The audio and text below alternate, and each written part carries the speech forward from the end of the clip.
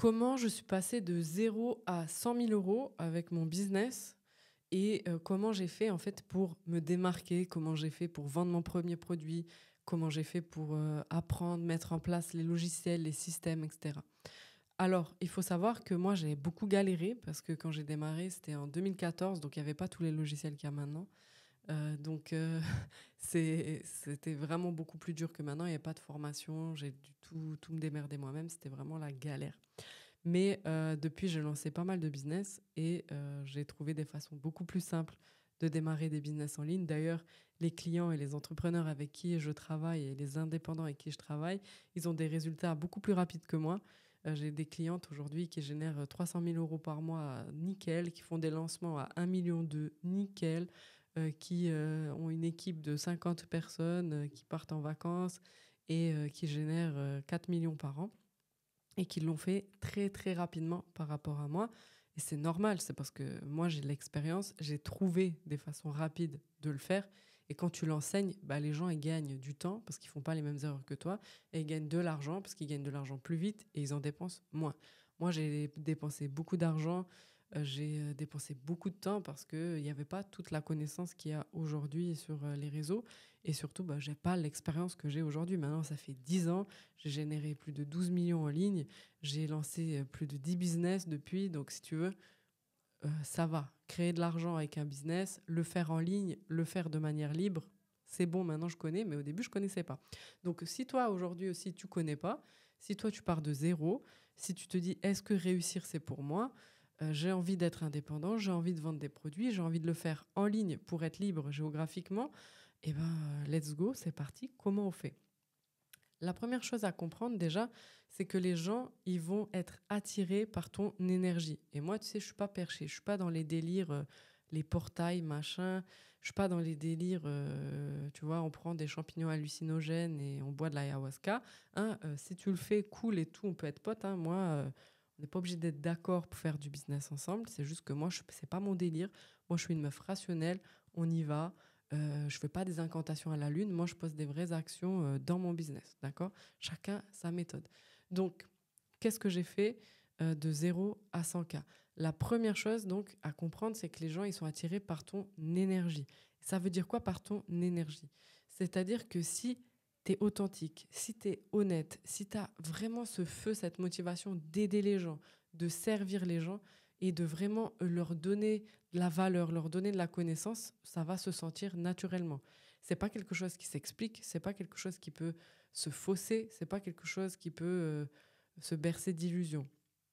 Si tu veux aider les gens, si tu le fais vraiment sincèrement, ça se sent. Si tu le fais pas sincèrement, ça se sent aussi. Et les gens vont vont trouver ah elle est bizarre, on se méfie un peu d'elle, tu vois. Donc déjà c'est de comprendre ça, c'est d'avoir une réelle intention, un réel, une réelle envie quand tu vas lancer ton activité indépendante et pas de lancer une activité en mode euh, machin m'a dit ça, euh, j'ai vu une vidéo, euh, je vais faire du dropshipping ou le mec là à Dubaï il m'a dit il faut vendre de l'affiliation. Non. Si tu veux des hacks ou des nouvelles modes pour gagner de l'argent facilement, il y en a tous les ans. Ça fait dix ans que je suis là, je peux te faire une liste longue comme le bras de toutes les modes qu'il y a eu. Non, dans le business, il y a des principes ancestraux qui fonctionnent, qui sont simples, qui peuvent te faire gagner 2000, 10 000, 1 million par mois. C'est toi qui décides en fonction de ton niveau d'ambition et qui fonctionnent. Le premier, c'est que si tu es un enfoiré, ça se sent. D'accord? Si tu n'as pas vraiment envie d'aider les gens, ça se sent. Et du coup, bah, c'est compliqué, tu vois, de réussir. C'est pas possible de réussir si tu veux un peu, voilà, filouter les gens. Donc, première chose, c'est que les gens, ils vont être attirés par tes valeurs, ton énergie. Et une fois que tu comprends ça, tout devient plus simple. Tu n'as pas besoin de te changer. Tu n'as pas besoin de créer un personnage. Tu n'as pas besoin de devenir, je sais pas quoi, une boss lady. Non, tu es qui tu es et les gens, ils vont être naturellement attirés par qui tu es, ton énergie. Il y a des gens, ils seront pas attirés par ton énergie, tant mieux, ils seront attirés par l'énergie de quelqu'un d'autre. C'est comme la musique. Il y en a qui sont attirés par le rap, d'autres la pop, d'autres le rock. C'est OK. Et il y a beaucoup d'artistes, autant d'artistes que de goût. Et c'est très bien.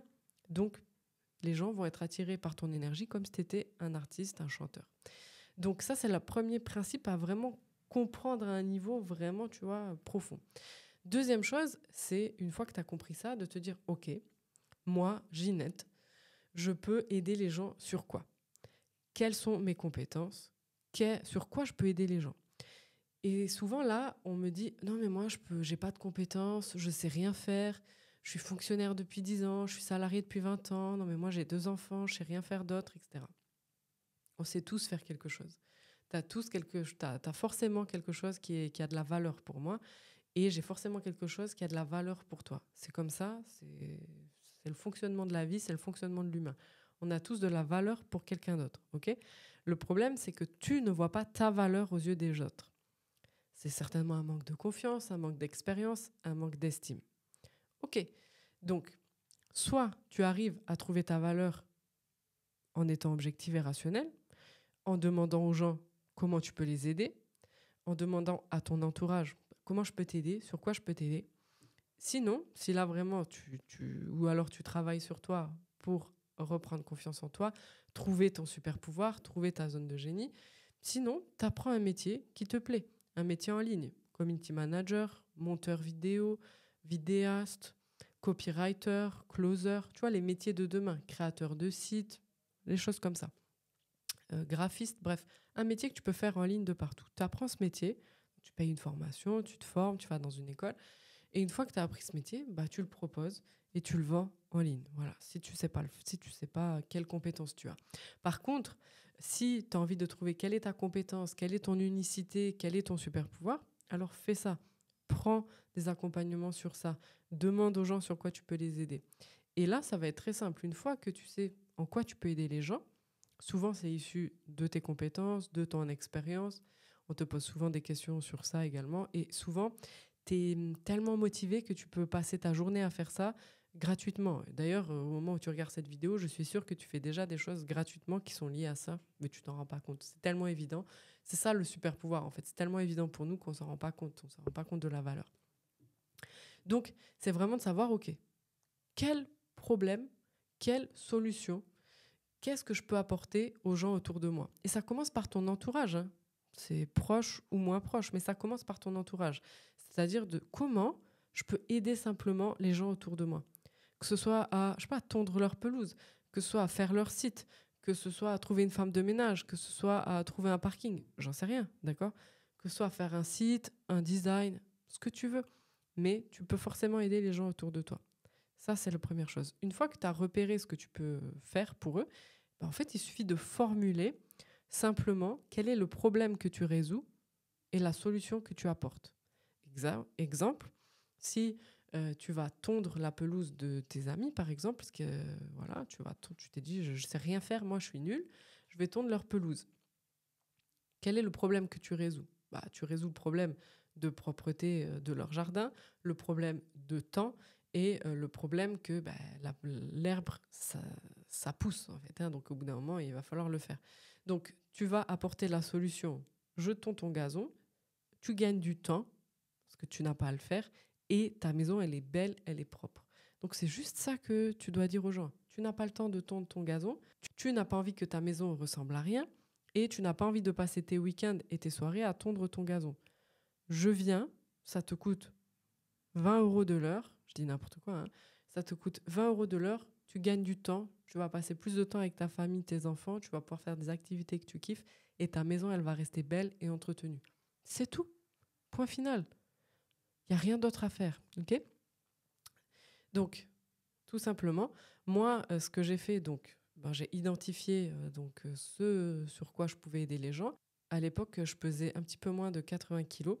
J'ai perdu plus de 20 kilos et je me suis transformée. Hein. Les gens ne me reconnaissaient pas mon travail, ils savaient même plus que c'était moi. Je me suis transformée. Je passée de la meuf qui se cachait dans ses habits, qui se sentait grosse et moche, à une bombasse qui mettait des talons et des robes. Hein, tu vois, donc voilà. Et les gens, ils ont commencé à me demander, Margot, comment t'as fait? Parce que on te voit manger la même chose que nous, tu manges toujours à la cantine comme nous. Qu'est-ce qui s'est passé, Margot?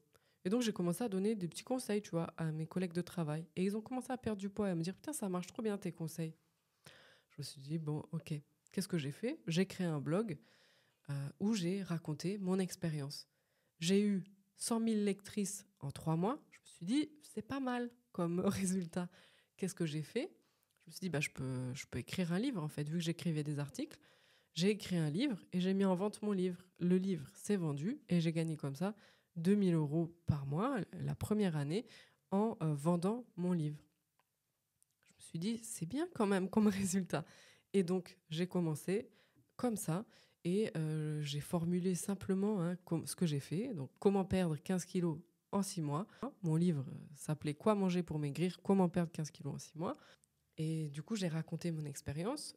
De ce livre, je me suis dit, je vais créer une formation beaucoup plus aboutie avec des euh, exercices que je faisais euh, chez moi, euh, parce que j'avais pas trop d'argent pour payer une salle de sport. Enfin bref, j'ai fait une formation, fait une formation beaucoup plus aboutie avec un suivi, avec un livre et des vidéos. Enfin, c'était avec un espace commun où les filles elles pouvaient se motiver et tout. Et c'est ça qui m'a amené à 100 000 euros. Donc, si on, repart de ça, c'est que j'ai vécu quelque chose, les gens se sont intéressés, je leur ai donné des conseils gratuitement, ça a fonctionné. J'ai créé une activité en ligne pour diffuser en fait ce que je diffusais à mes collègues de travail, mais de façon plus massive. J'ai commencé à créer du contenu en rapport avec ça pour me faire connaître. Ensuite, j'ai créé un produit, un petit produit pour me faire connaître. Ensuite, je me suis dit, mais si je vendais un produit plus cher, bah, ça serait beaucoup plus facile.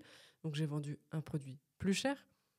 Et j'ai eu mes clientes qui ont acheté ce produit plus cher, plus des nouvelles clientes qui ont acheté, ce produit plus cher. Et en deux ans, j'ai atteint 100 000 euros. Donc, c'est exactement le chemin que tu peux copier, que tu peux suivre. Tu peux même éviter l'erreur du petit produit que j'ai faite, parce que moi, je te disais hein, en introduction que j'avais fait beaucoup d'erreurs. Donc aujourd'hui, si je devais recommencer, ben, ça serait beaucoup plus simple. Je lancerais un produit tout de suite assez élevé un produit d'extrêmement bonne qualité, genre le meilleur du marché. Je mettrai toute la qualité dans ce produit. Je le vendrai le plus cher possible, si tu veux, dans mon marché, dans ma cible, et sans trop galérer, tu vois, à vendre, parce que des fois, si tu vends trop cher, bah, ça correspond pas ni à ta cible, ni aux besoins du marché. Tu vas vendre, en fait, plus la valeur que tu apportes et plus la transformation que tu vas opérer avec ton produit est perçu comme élevé auprès de ton client, plus tu vas pouvoir vendre cher. Donc il faut trouver en fait euh, ce, bon prix, ce point de bascule-là, euh, qui se fait un petit peu en, tâtonnant hein, au début, sauf si tu prends une formation, un mentor et que là, tu arrives très vite à pricer un bon produit, un bon prix. Et voilà, donc je vendrai tout de suite un produit minimum à 1000 euros, si ce n'est pas à 2 3 000, avec une valeur incroyable. Comme ça, je m'assure que mes premiers clients me font des témoignages et des retours de malade. Donc ça serait vraiment ce que je ferais en premier. Je m'éviterais de vendre un petit livre à 17 euros euh, parce que c'est le même effort hein, finalement. De vendre un produit à 17 euros ou de vendre un produit à 1000 euros, c'est le même effort, le même travail, les mêmes systèmes à mettre en place, les mêmes analyses à mettre en place, le même contenu. Hein. Donc euh, au lieu de vendre un produit à 17 euros, vends un produit le plus cher possible en fonction de tes compétences et de tes qualités. Donc c'est comme ça que je passais de 0 à 100 000 euros. Dans une prochaine vidéo, donc, je te montrerai et je t'expliquerai euh, comment je suis passé de 300 000 à 1 million. Là, je filmerai mon écran parce qu'il y a des systèmes, etc. Donc, il faut, euh, que je te montre des trucs. Mais pour l'instant, 100 000, c'est ça. Donc, les compétences que tu dois maîtriser pour faire 100 000 euros par an, elles sont multiples. C'est savoir créer du contenu de valeur qui apporte vraiment de la valeur, mais vraiment de la valeur. Pas un contenu où tu essayes de faire du storytelling, de, d'essayer de vendre. Non, vraiment un contenu qui donne ta meilleure valeur sur les réseaux sociaux, évidemment. Euh, de euh, savoir vendre par téléphone. Vendre par téléphone, c'est-à-dire ce qu'on appelle aussi closer. Avant, euh, c'était des commerciaux, maintenant on appelle ça des closers, ok? Vendre par téléphone. Savoir créer un petit site, un petit système qui permet de récupérer les emails des gens, de leur envoyer des emails en automatique et de vendre un produit en ligne. Donc, c'est les compétences qu'il faut maîtriser pour passer de 0 à 100 000 euros. Si aujourd'hui tu galères de passer de 0 à 100 000 euros, c'est que tu n'as pas ces compétences-là. Tu dois maîtriser ces compétences-là. Pour réussir, toujours le même process. L'éducation, le passage à l'action. That's it. Pour les étapes suivantes, il va falloir créer, il va falloir se démarquer, il va falloir innover. OK? Donc les étapes suivantes, ça va demander autre chose que l'éducation et le passage à l'action. Mais de 0 à 100 000 euros, c'est je m'éduque J'apprends ces compétences nécessaires pour passer de 0 à 100 000 euros et je les applique. Tu fais ça, tu es à 10 000 par mois, tranquille. Soit tu restes là, soit tu passes à l'étape suivante, de 100 000 à 300 000 et de 300 000 à 1 million. That's it. Donc, ça, c'est les compétences dont tu as besoin pour passer de 0 à 100 000 euros. Si tu veux recevoir la fiche pratique où je te liste toutes ces compétences et je te montre les systèmes à mettre en place, c'est dans la description.